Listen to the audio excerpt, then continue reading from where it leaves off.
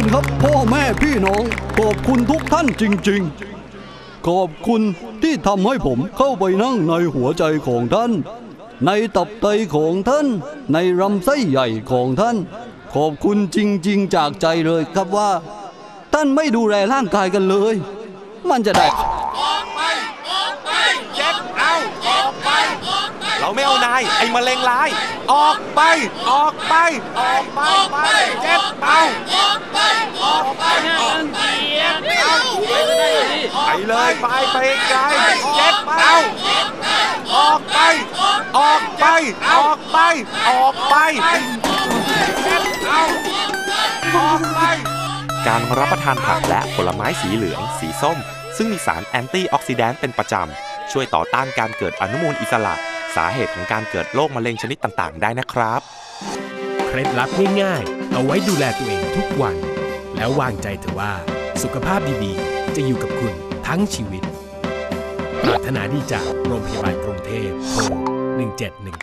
1719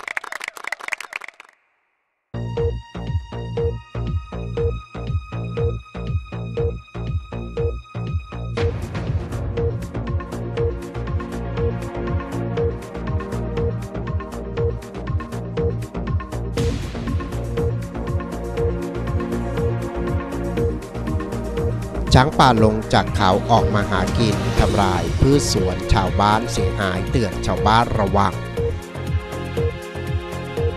รองผู้ว่าตราดลงพื้นที่อ่างเก็บน้ำประมงตรวจความคืบหน้าการขุดลอกอ่างเก็บน้ำไว้ใช้หน้าแล้ง ตราด F4 พลาดท่าทำได้เพียงเสมอเกษตรศาสตร์ 1 ต่อ 1 เก็บแต้มเป็น 5 แต้มอยู่ดับที่ 8 ของตาราง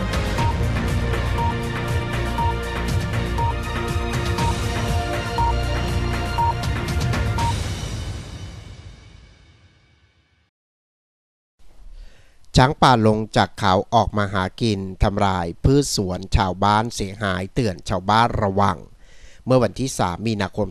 2560 ชุดเฝ้าระวังช้างป่าของอุทยานแห่งชาติน้ำตกของแก้วอำเภอบ่อไร่จังหวัดตราดได้รับแจ้งประสานจากชาวบ้านว่า มีช้างป่าหนึ่งตัวเข้ามาในพื้นที่ของชาวบ้านหมู่ที่ 5ตำบลหนองบอนอำเภอบ่อไร่จังหวัดตราดหลังรับแจ้งจึงจัดกำลังออกไปช่วยการดูแลเฝ้าช้างป่า โดยมีชาวบ้านและชรบหมู่บ้านรวมด้วย ซึ่งขณะที่เจ้าหน้าที่เดินทางไปถึงช้างได้ขึ้นจากสระน้ำแล้ว และเข้าไปกัดกินต้นกล้วย และพืชผลทางการเกษตรของชาวบ้าน จนได้รับความเสียหาย จากการตรวจสอบพบว่าช้างดังกล่าวเป็นช้างพายที่พบว่าเข้ามาเดินวนเวียนหาอาหารกินในพื้นที่ และหมู่บ้านใกล้เคียง โดยไม่ยอมกลับคืนถิ่นที่อยู่ เนื่องจากบริเวณที่ลงมาหากินยังมีอาหารพอให้กินอีกสำหรับช้างป่าตัวดังกล่าวเป็นช้างป่าที่ชาวบ้านเรียกว่าไองาหัก ที่ก่อนหน้านี้มีช้างป่าจำนวน 4 ตัว ลงจากเขาปีกาเข้ามาหากินในหมู่บ้าน และได้แตกฝูงออกมา 2 ตัว และไปอาศัยอยู่ใกล้ๆ กับฐานทหารที่บ้านของมะนาว โดยวันนี้ช้างป่า 2 ตัว 1 ตัวนั้นลงไปเล่นน้ำและอีก1ตัว เดินเข้าไปในป่าหากิน เจ้าหน้าที่จึงได้จัดกำลังเฝ้าระวังไม่ให้ช้างเข้ามาทำลายพืชสวนทางการเกษตร และเป็นการดูแลความปลอดภัยให้กับประชาชนด้วย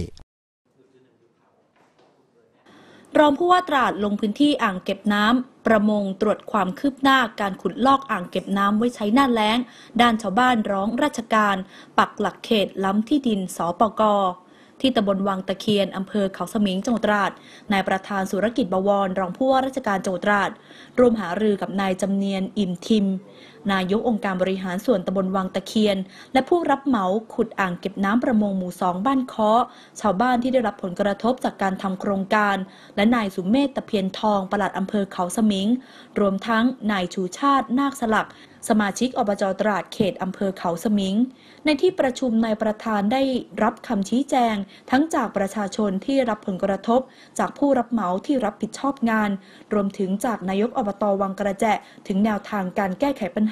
หาให้ประชาชนโดยรอบพื้นที่อ่าง ซึ่งเกรงว่าจะได้รับผลกระทบจากการขุดลอก เพราะอาจทำให้สวนผลไม้ ไม่มีน้ำมาหล่อเลี้ยง และอาจยืนต้นตายได้ ทั้งนี้รองผู้ว่าราชการจังหวัดตราดขอให้ผู้รับเหมาได้เข้ามาแก้ไขปัญหาเรื่องนี้ให้กับชาวบ้าน หลังจากประชุมเสร็จแล้วนายประธานเดินทาง ตรวจพื้นที่อ่างเก็บน้ำประมงที่อยู่ระหว่างการขุดลอก ให้มีความลึกขึ้น เพื่อเก็บน้ำพบว่าเครื่องจักรกำลังทำงานอย่างเร่งด่วน เนื่องจากใกล้หมดสัญญาในเดือนเมษายน 2560 นี้แล้วนายประธานกล่าวว่าการทำโครงการนี้เพื่ออ่างเก็บน้ำประมงสามารถรองรับน้ำได้มากขึ้น และจะช่วยให้เกษตรกร มีน้ำใช้ทางการเกษตรได้อย่างพอเพียงในช่วงหน้าแล้ง ที่มีพื้นที่ทางการเกษตร มากกว่า 1-2หมื่นไร่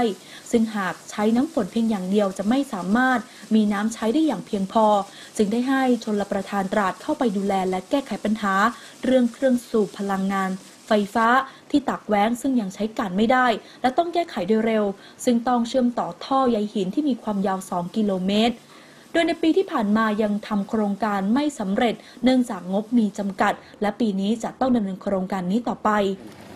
สำหรับโครงการอ่างประมงเนี่ยก็แทบจะเป็นหัวใจของของพื้นที่นี้นะฮะที่เป็นที่เก็บน้ำไว้ใช้ในฤดูแล้งเนี่ยแต่ว่าสภาพเดิมเนี่ยเป็นอ่างเป็นอ่างเก็บน้ำที่ใช้เป็นเพื่อการประมงแต่ณปัจจุบันเนี่ยเปลี่ยนหน้าที่ไปแล้วก็เลยต้องมาขุดลอกให้มันลึกลง เพื่อเก็บน้ำไปใช้ให้ได้ในฤดูแล้งเนี่ยนะฮะโดยเฉพาะอย่างยิ่งแล้งหน้าคือปี 2561เนี่ยปีนี้ก็ยังมั่นใจว่า น้ำที่ยังพอมีอยู่ในอ่างเนี่ยซึ่งเรากันกันออกไปแล้วนะเพื่อที่เอามาใช้ก็ยังพอทุเรานะครับ ถ้าหากว่ารัษฎรให้ความร่วมมือในการให้มีการทิ้งดินนะฮะทิ้งดินที่จะขุดจากสระเนี่ยก็จะทำให้งานได้เร็วขึ้นได้เก็บน้ำได้เร็วขึ้น แต่อย่างไรก็ตามการที่จะใช้น้ำในช่วงฤดูแล้งเนี่ยจำเป็นจะต้องไปพึ่งพากับแหล่งน้ำที่อื่นด้วยนะครับดังนั้นถ้าถ้าคิดว่าจะให้เกษตรกรเนี่ยได้ประโยชน์ สูงสุดเนี่ยอาจจะต้องมีความร่วมมือเพิ่มเติม เช่น เข้ามาร่วมกันทำงานนะฮะมาร่วมกันทำงาน ร่วมกันเฉลี่ยค่าใช้จ่ายนะครับซึ่งทางออองค์การบริหารส่วนตำบลวังตะเคียนก็ใช้งบประมาณของตัวแทบจะหมดแล้วนะฮะในการนี้ก็อาจจะต้องของงบประมาณของทางทางราชการ ซึ่งก็ไม่ใช่ว่าจะขอแล้วได้ทันทีนะฮะมีกฎระเบียบที่จะต้องทำหนึ่งสองสามสี่ห้านะครับทีนี้อาจจะขูกขักบ้างถ้าพี่น้อง เกษตรกรไม่ให้ความร่วมมืออาจจะจะเกิดภาวะเอ่อที่จะขาดแคลนอยู่บ้างครับอย่างไรก็ตามมีชาวบ้านสองคน ซึ่งเป็นเจ้าของที่ดินรอบอ่างเก็บน้ำระบุชื่อนายนรงศักดิ์พาณิชวิริยพร อายุ 77 ปี ได้ร้องเรียนกับรองผู้ว่าราชการจังหวัดถึงปัญหาการบุกรุกที่ดินของตนเองว่า ทางผู้ช่วยผู้ใหญ่บ้าน ได้นำหลักเขตมาปักรุกเข้าไปในพื้นที่ดินส ปกทำให้ไม่สามารถขุดบ่อได้ ซึ่งหากไม่สามารถขุดได้ก็ทำให้สวนผลไม้ได้รับผลกระทบ ซึ่งทางเขตอำเภอเขาสมิงได้ชี้แจง และแจ้งว่าจะขุดบ่อได้ก็จะสามารถทำได้ แต่หากพบว่าที่ดินที่ขุดบ่อ เป็นที่ดินสาธารณะก็ต้องยินยอมให้กลบ ซึ่งได้รับคำยินยอมพูดอ่าก็ขุดตามที่อยากจะขุดอะอ่านะก็ผมแค่หลักเหตุไงขุดที่อยากจะขุดอะ อ่าอันนี้ถือว่าป้าต้องรับความเสี่ยงเองนะอ่าเพราะว่าขุดไปเพิ่งเสียตังค์ลงทุนเองอะไรเออเองทำเองมันเสียไปแล้วไงทั้งนั้นตังค์มันที่มันจะมันเสียแต่ว่าผมผมพูดต่อหน้าตรงนี้คว่ารับครับครับถ้าเป็นที่สาธารณะก็ไม่กลบครับป้าจะได้ใช้ประเอโยอชน์ก็ต่อก็จะได้ใช้แล้วไม่ต้องไปบอกเช่าเช่าเราใช้ครับของหลวงของที่สาธารณะครับขอบคุณมากครับนะพ่อหลอกคือเป็นการประชดว่าเขาต้องมาเช่าระบียบจะเช่าครับจะเช่าอะพูดจริงๆเช่าจริงๆนะอ่า ถ้าหากก็นั้นให้ให้มีสภาพนี้แล้วป้าลุงจะใช้กับเปล่าไว้ถ้าเช่าแล้วผมจะได้มีหนังสือยืนยันไง ใครคนไหนมาเบ่งเนี่ยเออเนี่ยผมเช่าแล้วนะ ผมเช่าเช่าผไม่มได้นะอ่าแล้วก็ถ้าจะให้ระยะยาวเนี่ยฝังท่อไปเอาตรงนู้นด้วยของเอาตะลุยถ้ามันไม่พอจริงๆก็ฝังต้องตอนนี้มันต้องต้องการเอาตรงครับนี้ให้มันรอดปีนี้ไปก่อนอ่าแล้วจะเอาน้ำอ่างตรงไหนมาลดของขอถามแค่ตรงเนี้ย ไม่เป็นไร แล้วรถตู้ร่วมบขสบริษัทเกาะช้างกรุงเทพเดินรถ คุณสามารถสำรองที่นั่งได้ล่วงหน้าก่อนเดินทาง 7 วัน อนุสาวรีย์ใต้สถานี BTS อนุสาวรีย์โทร 090 818 1828 สถานีขนส่งหมอชิด ช่องขายตั๋วที่ 43 โทร 084 148 1551สถานีขนส่งตราด โทร 039 525 222 ท่าเรือเฟอร์รี่ โทร 090 818 1833กาะช้างฟังเอาสับรดโทร 090 818 1844 สถานีขนส่งเอกมัย โทร 090 818 1855 เอกมัยรถออกเวลา 6 นาฬิกา 8 นาฬิกา 10 นาฬิกา 12 นาฬิกา 16 นาฬิกา และ 18 นาฬิกา ตราด FC พลาดท่าทำได้เพียงเสมอเกษตรศาสตร์ 1 ต่อ 1 เก็บแต้มเป็น 5 แต้มอยู่ดับที่ 8 ของตาราง ที่สนามกีฬากลางจังหวัดตราดตราด FC เปิดบ้านพบเกษตรศาสตร์ FC ในศึก M150 แชมเปี้ยนชิพ 2017 โดยก่อนเตะ ตราด FC มี 4 คะแนนจากการลงเล่น 3 นัด ส่วนเกษตรศาสตร์มี 1 คะแนนจากการลงเล่น 3 นัด เกมในบ้านของตราด FC วันนี้ มีการปรับเปลี่ยนผู้เล่น แผงหลังเพียงหนึ่งรายคือโชคสุกแก้ว ที่ลงแทนยุนชิโฮที่มีอาการบาดเจ็บ ที่ต้นขาก่อนการแข่งขันหนึ่งวัน เกมใน 15 นาทีแรกตราด FC มีจังหวะบุกขึ้นนำทำประตูสองครั้ง แต่ถูกสกัดจากทางเกษตร FC และเกษตร FC มีจังหวะบุกขึ้นมายิงเข้ากรอบสองครั้ง แต่ผู้รักษาประตูป้องกันไว้ได้ โดยมีตราด FC ได้มีโอกาสคุมเกมมากกว่า ท้ายเกมครึ่งแรกของตราด FC มีจังหวะบุกอย่างต่อเนื่อง มีโอกาสได้ยิง 3 ครั้ง เข้ากรอบ 2 ครั้ง ผู้รักษาประตูเข้ามาเซฟไว้ได้ จากการที่สิทธิชัย ยิงบอลจังหวะ 2 ส่วนเกษตร FC ได้จังหวะบุกเข้ามาบ้าง โดยอาศัยจังหวะโต้กลับและเกือบทำได้ แต่รูปเกมตราด FC ยังครองเกมไว้ได้มากกว่า จบเกม ตราด FC ยังเสมอเกษตรศาสตร์ศูนย์ประตูต่อศูนย์เริ่มต้นเกมในครึ่งหลังทั้งสองทีมยังคงบุกตอบโต้กันไปมาแต่ไม่สามารถทำประตูกันได้ กระทั่งตราด FC ได้ลูกจุดโทษ เอดีวันโด สังหารไม่พลาดตราด FC ขึ้นนำหนึ่งประตูต่อศูนย์ หลังจากที่เกษตรศาสตร์เสียประตู แต่กลับเป็นฝ่ายบุกเข้าใส่ตราด FC อย่างต่อเนื่อง และได้ตีประตูเสมอจากจังหวะที่นักเตะตราด FC กำลังหยุดเล่นคิดว่าเป็นลูกล้ำหน้า ก่อนที่นักเตะเกษตรศาสตร์จะโยนบอลเข้าประตูไป โดยโจนาธานขึ้นมงทำประตูตีเสมอตรา FC 1 ประตูต่อหนึ่งจบเกมการแข่งขัน ตรา FC ทำได้เพียงเสมอเกษตรศาสตร์ FC เท่านั้น ก็สำหรับเกมวันนี้นะครับ ก็ต้องยกเครดิตให้น้องๆทีมเกษตรทุกคนครับที่ว่ามีหัวใจนะครับเลือดนักสู้ยังคงอยู่กับทีมเรานะครับ ก็แม้แต่สกอร์เราตามอยู่นะครับแต่ก็น้องๆไม่ย่อท้อครับ ก็ตามตีเสมอได้นะครับ แล้วก็มีโอกาสที่จะแซงนะครับ ก็สกอร์วันนี้และแต้มหนึ่งแต้มก็สำคัญกับทีมเกษตรศาสตร์นะครับ ก็ต้องยอมรับว่าการมีตาดตาดซึ่งเล่นในบ้านก็ เป็นทีมที่เล่นดีและแข็งแกร่งครับหนึ่งแต้มสำหรับวันนี้นะครับ ก็คุ้มค่าครับก็ขอบคุณน้องๆนะครับขอบคุณกองเชียร์นะครับที่ว่ามาให้กำลังใจนะครับพวกผมทีมงานและน้องๆจะทำผลงานให้ดีขึ้นครับขอบคุณครับ ก็มัน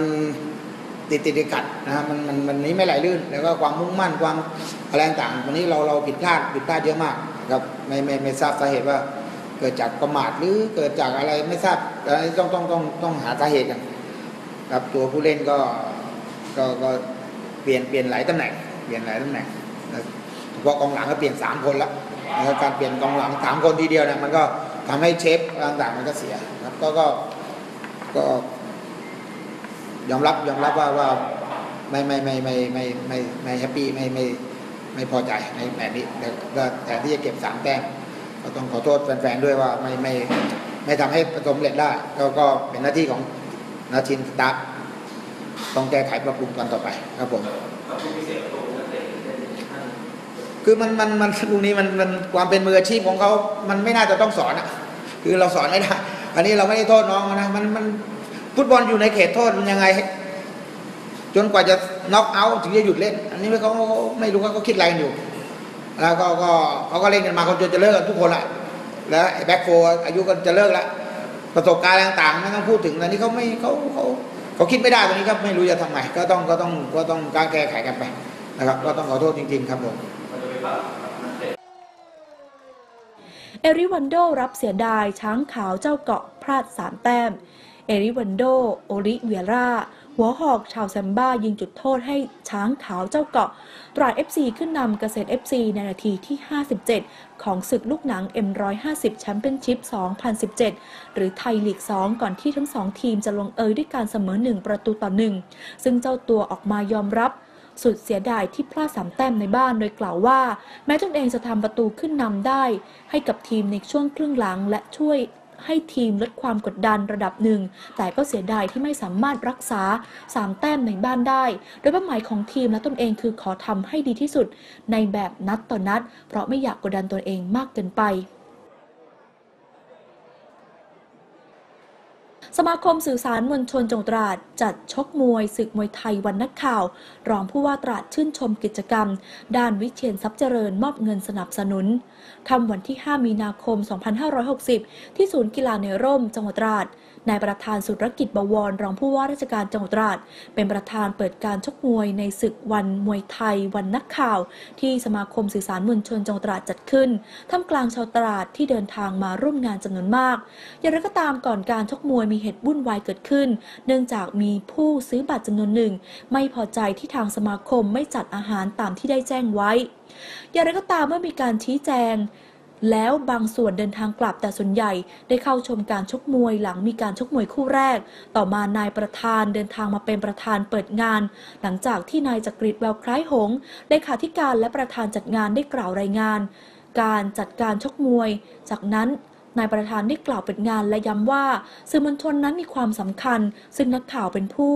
สำคัญในการเสนอความจริง และทางสมาคมได้จัดงานวันนักข่าวอย่างต่อเนื่อง จึงขอแสดงความยินดีกับการริเริ่มจัดมวยในครั้งนี้ด้านนายวิเชียนทรัพย์เจริญนายกองค์การบริหารส่วนจังหวัดตราด ก็ได้เข้าแสดงความยินดีกับสมาคมสื่อสารมวลชนจังหวัดตราดที่จัดงานขึ้น และได้ชื่นชมการจัดงานครั้งนี้ หลังจากนั้นได้มอบเงินสนับสนุนให้ทางสมาคม ซึ่งทางสมาคมได้มอบเสื้อให้กับทั้งสองท่าน ที่ได้สวมใส่ในครั้งนี้ด้วย หลังจากนั้นเป็นการชกมวยในคู่ต่างๆจำนวน 8 คู่ ซึ่งนายวิเชียนได้นั่งชมการแข่งขันจนจบในคู่เอก ซึ่งเป็นคู่สุดท้ายเวลาเที่ยงคืน 30 นาที ซึ่งคู่เอกสามารถชกได้อย่างสนุกสนานและน่าตื่นเต้น